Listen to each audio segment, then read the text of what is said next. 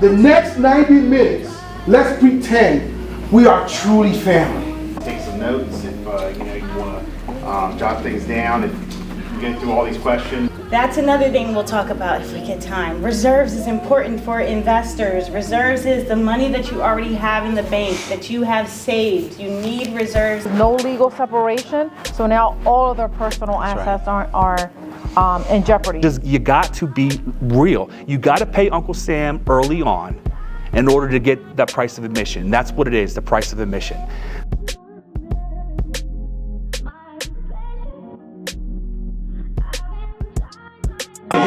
This I would make five thousand dollars, and I know if I could do that for twenty thousand dollars. So the color lights, I have a couple LED strips.